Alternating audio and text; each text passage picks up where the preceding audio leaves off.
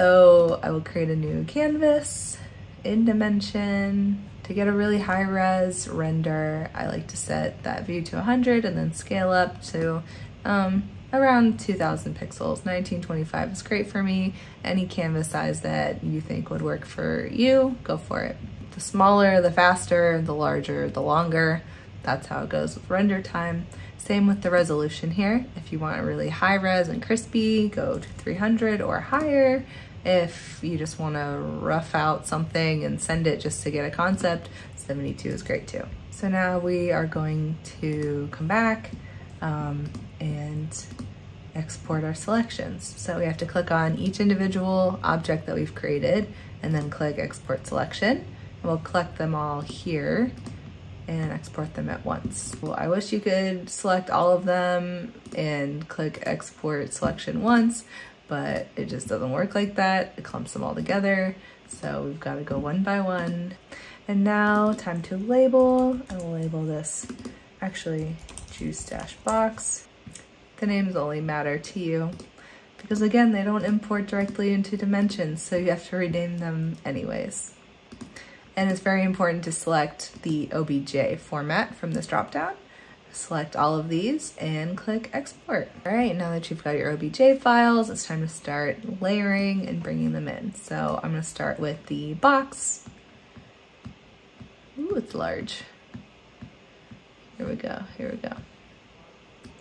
All right, I'm gonna get it set up. I like it.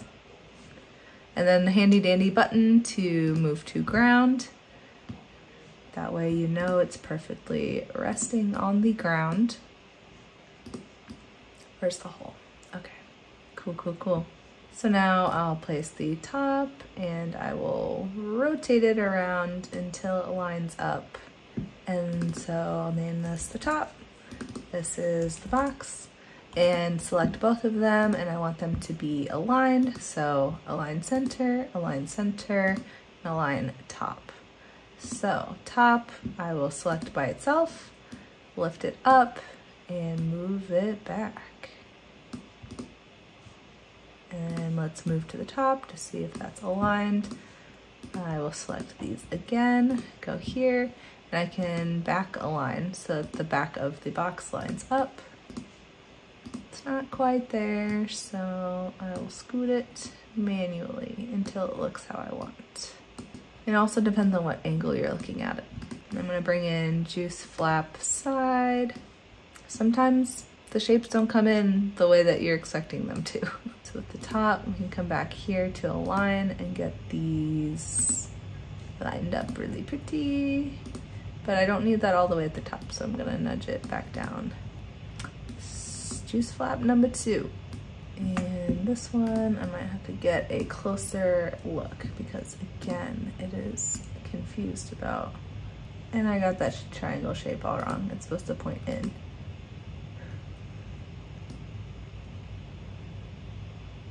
Yeah, I like this. We're moving it, we're moving, we're shaking.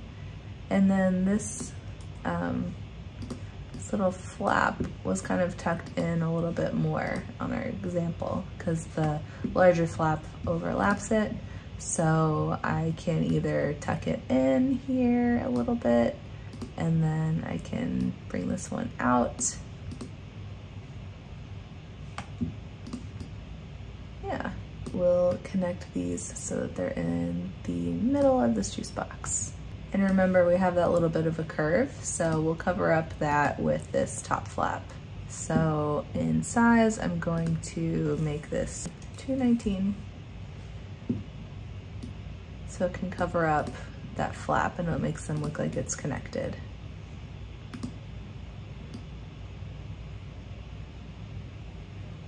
And then we need that little strip, the little juice strip. And I need to adjust the width a little bit too. So I'm just gonna do that right in dimension 222. Get that pretty lined up. Let's hit our pre-render and see how it looks. I need to adjust the lights so I can get a better look. So I'm gonna scroll down and find my three point light, drag that over the scene. I like this one. I like these other scenes too, but I like the three point light because it lets me have more finesse about how much light, how intense it is, the height of it. Um, right now is really intense because it's just white on white. We're just getting blinded. So I'll come back to environment light and I'm gonna bring that down to, I don't know, 34. Still a little intense, but I think I can adjust the other lights and lower those down so we can see a little bit better. Yeah, the intensity is at 100% for the key light. Let me bring that down. I can bring up the height, gives us a little more look at the contrast, and still bring the intensity down. We're getting somewhere, we're getting somewhere. And then I had my little side strip here. And we'll just align those so that they're all together.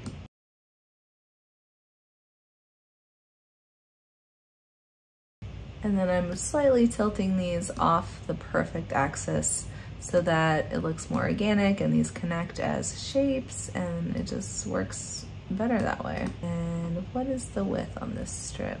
22, that's what I picked. Okay, do 22 here too. So those align. Yay! And whatever rotation I have selected here, it's seven, we'll choose seven for this too. So those go together and they combine into one shape. And sometimes it really just takes some patience and some guessing about how these shapes are gonna all look together. Um, but I think it's looking pretty good. And I think once we put graphics on it, that's the most important part. I think once we put the graphics on, it's gonna look even better. But now we're gonna move over to textures and I'm gonna choose glossy actually, because yes, it is like a cardboard paper, but the external is what counts, right? Like that's what we've been going, going over. Like the outside is what counts. Grain intensity, we're gonna turn that like all the way down, maybe to like 0.5. And I'm just gonna keep dropping glossy on here until that's all we have. It might have to be a little different. If your texture is something that really matters to your shape, you might have to adjust it and make it cohesive throughout. And the reason why I like making these little individual pieces is because sometimes when you make it all as one piece, the way that you apply graphics and textures looks different and it can be warped and skewed with the shape, which isn't always the effect that you want.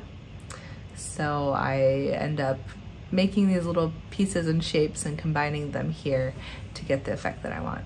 So we're gonna go keep turning down these grain intensities, applying it if it didn't get applied.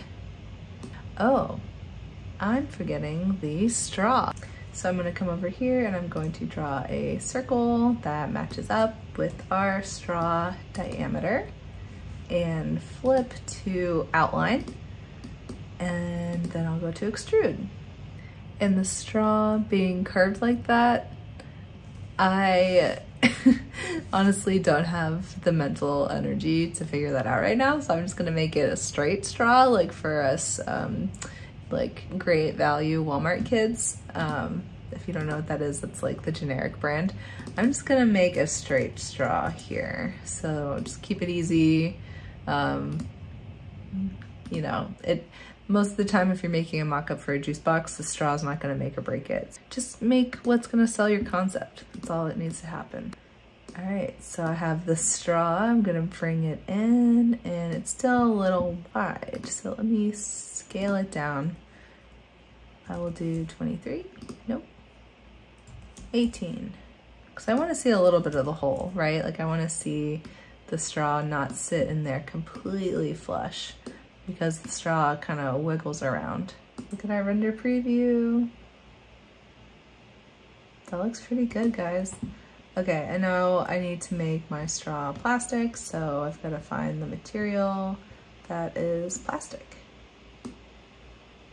And translucence, turn that pretty much all the way up, like 98%.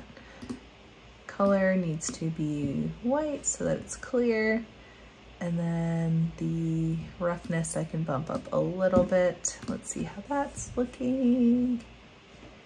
Yeah, look at our little straw. Okay, so now I'm gonna change the colors of the box I think I want a green juice box. So I'll come in here and I will choose a color. If you have a specific hex code, you can put the value there, but I'm gonna choose that one. That looks pretty good. Choose that color for all the layers. Computer's running a little slow.